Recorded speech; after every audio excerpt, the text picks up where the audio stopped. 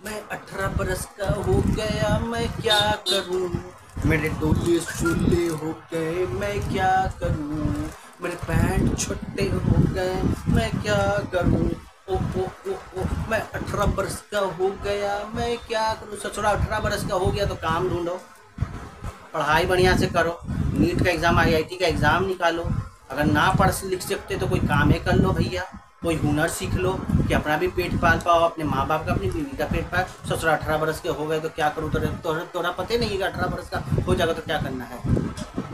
नमस्कार। ये तो मज़ाक का पार्ट था सीरियस पार्ट ये है कि आप अगर अठारह वर्ष के हो गए तो अभी आपको वोट देने का अधिकार मिल गया तो अपने वोट देने के अधिकार को छोड़िए मत।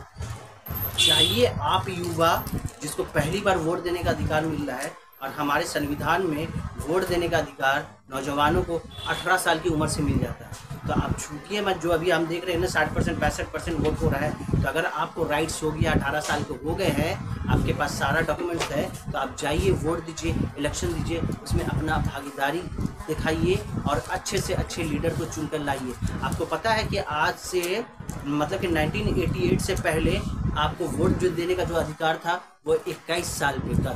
पर जब इंडियन कॉन्स्टिट्यूशन में अमेंडमेंट हुआ सिक्सटी फ़र्स्ट अमेंडमेंट इकसठवा अमेंडमेंट तो इकसठवां अमेंडमेंट 1988 में हुआ, जिसमें ये कहा गया कि भैया 21 साल को घटाकर वोटिंग का राइट्स 18 साल में देना चाहिए। देना भी चाहिए, क्यों नहीं देना चाहिए? आप देखते हैं कि नाइन्थ और टेंथ में बायोलॉजी में सब कुछ पढ़ा दिया जाता है रिप्रोडक्शन वगैरह क्यों पढ़ाया जाता है? कि भैया नाइन टेन में ही बच्चा मैच्योरिटी के लेवल पे पहुँच सकता है। जब ट्वेल्थ पास कर गया और हम अठारह साल के हो गए तो हमें वोट देने का भी अधिकार मिलना चाहिए। इसीलिए ये अमेंडमेंट किया गया।